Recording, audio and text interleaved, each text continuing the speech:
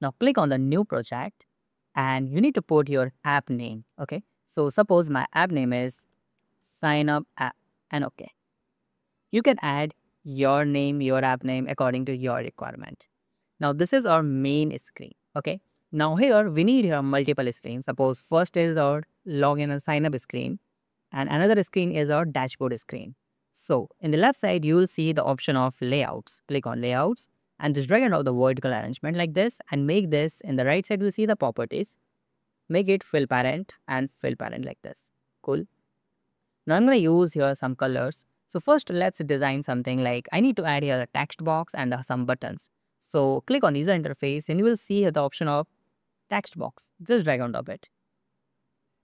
Where we can put the username and here's the password text box. Just drag and drop this where we are, we are going to put the password. And I need here two buttons. First one is login, another button is for sign up. Cool. Now, you can see, click on the vertical arrangement and make all the thing in a center like this. And click on the label and just drag and drop one label here and make this something like welcome to TCT like this. Okay. Now let's design this. Okay. So how we can do this? So I'm gonna just make it like this is 40 or maybe the 30 will be fine. And I need one color website. So this website I'm going to use here to get a color, okay, for my app. So just start, click on generation and you can use here the spacebar button to generate the color for your app, okay. So we can generate the multiple color like this. Now I'm going to use this one plate, suppose, okay. Let's try to use this one plate, okay. I'm going to use that darker one for the background color so click on the vertical arrangement and make the background color something like this.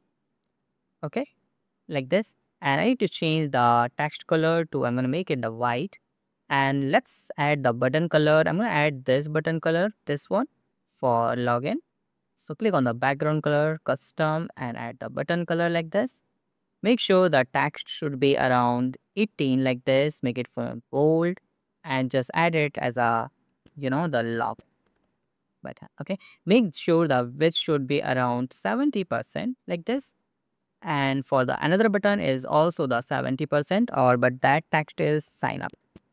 Like this. Third by t and make it font bold and make that with is 70 percent. Like this